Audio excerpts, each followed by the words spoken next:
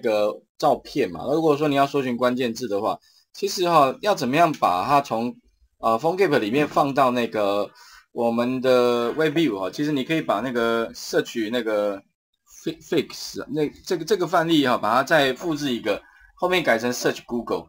那 Search Google 里面哈，其实你就可以把这一行有没有？其实那关键字串接嘛，就这一行把它放上去就可以了。这样子放上去之后的话，你会发现哈，直接在搜寻的时候，它就会去搜寻什么？搜寻那个 Google 的关键字啊，秀出来，它会秀在 WebView 里面，它不会另外 open 一个新的，所以马上改，马上可以看到结果。另外，你要路径规划的话，有没有导航？有没有？假如你要路径规划之前，我们不是要呃要要，如果用那个 V2 V2 的版本，其实也蛮麻烦的。那如果说你要把它改成什么，改成简单一些些的话，其实用什么用这个也可以做得出来。刚刚那个用呃我们导航的话，你可以把这边哈就 phone give 这个语法，其实它是额外 open 一个 window 哈 window open 嘛，我 open 外部的那个浏览器。那其实你可以把这个其实不要用 open 外部的，你可以用内部的，那一样，但是你必须要给几个数值。第一个就是你现在 location。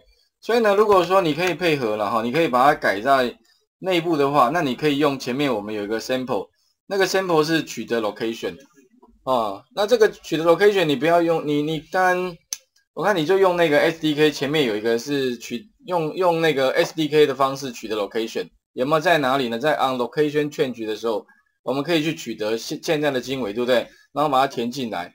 那另外你要到的位置一定会有个查询的。好，一个一个景点，那你可以预先查好一个景点，然后呢，直接也是一样哦，让它做导航，哎，也是一样，最后秀出来的会不会秀在那个外部的浏览器，而会秀在 WebView 里面？那这个两个其实就很很有帮助了。以后的话，如果你要让使用者看到，比如搜寻结果，那你可以用下面那个范例。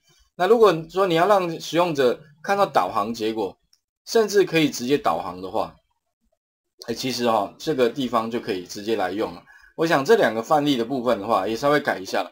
你们可以怎么样，把这个这个地方改上上次的部分，然后呢，上面这个范例的话，我想你们就是去找那个，就是之前有先抓到哈，我们现在的可以选的那个范例，然后呢，顶多就是说再让 user 可以填他的目的地。那目的地的话，它可以什么？可以去打上那个他的地址。或者它的一个景点，啊，我们不是还有一个范例，就是说可以反查嘛？比如说一个地址，总统府好了，它可以反查出它的经纬度。